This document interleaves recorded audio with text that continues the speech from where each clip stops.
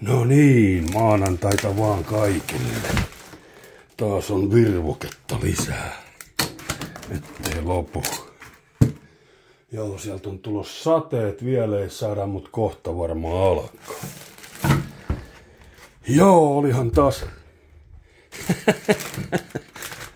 pajallakin kirja tunnelma. Ei siitä nyt enempää. Näytän kohta yhden pienen videon pätkän. On vähän tiukkapiposta meininkiä jollain. Miksi sotket seinää?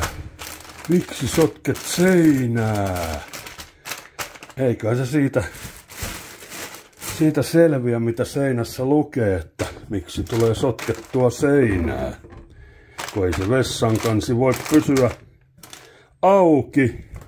Kun joku käy paskalla, niin jää hirveä haju aina sinne pönttöön. Niin tuli vähän kirjoiteltua seinään. Ehkä se nyt ollut ihan viksua sekään, mutta jos tommonen jotain ahdistaa, niin kyllä vähän täytyy sanoa, että on pipo taas tiukalla. Taas on pää pipoa vähän kiristää tai jotain. Ei siitä sen enempää. Jokainen voi itse miettiä.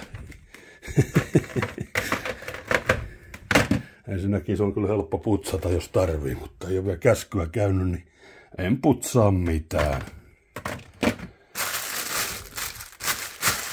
Joo, taas on makrillia. Eiköhän näillä pärjännyt ainakin viikon. Täytyy no lihat paistaa tehdä taas täältä herkullista riisiä. Tää on loistava tuote tää riisi. Ei vielä illalla, illemmalla vasta.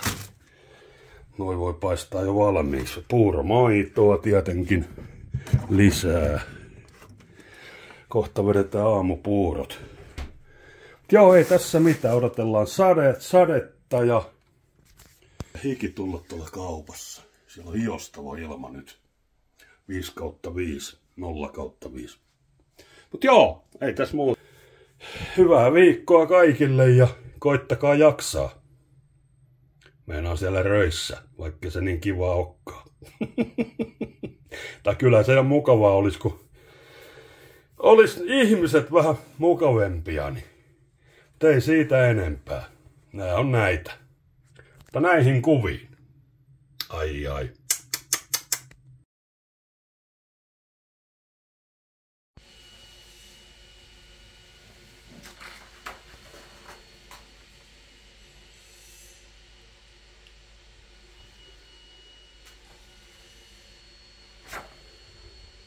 Who?